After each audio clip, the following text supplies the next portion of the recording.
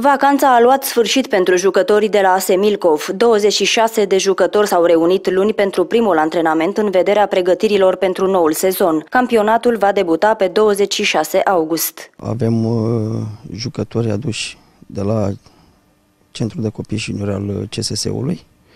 Cei care au terminat junioriatul mai sunt în discuții să mai aduc uh, la fel, să intrăm într-o colaborare cu CSS-ul și vreau să mai aduc un jucător de-al lor de 99 pentru a mă putea baza pe el și anul viitor.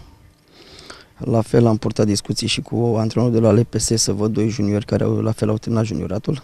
În noua formulă a echipei ASE Milcov au fost aduși trei jucători de la Juventus Slatina.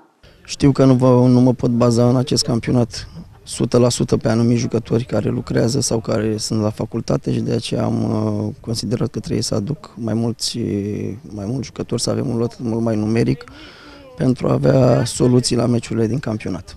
Am mai adus trei jucători de la, de la uh, Juventus Latina, pe Preda Valentin, Stancu și Radu Constantin.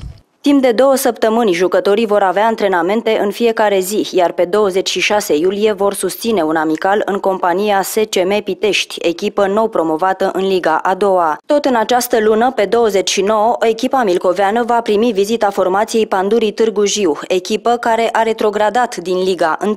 Imediat după susținerea celor două amicale, gruparea antrenată de Ionut Stache va pleca în cantonament, timp de șase zile, la Căciulata. Pe 9 august avem jocul de cupă, după care 12 august meci în deplasare de pregătire la Alexandria și am mai perfectat cu CSU Craiova, rămânând să stabilim după ce se uh, după ce se fixează seria și unde avem primul meci noi în deplasare și ei, să vedem unde vom, vom juca, ori la noi, ori la ei.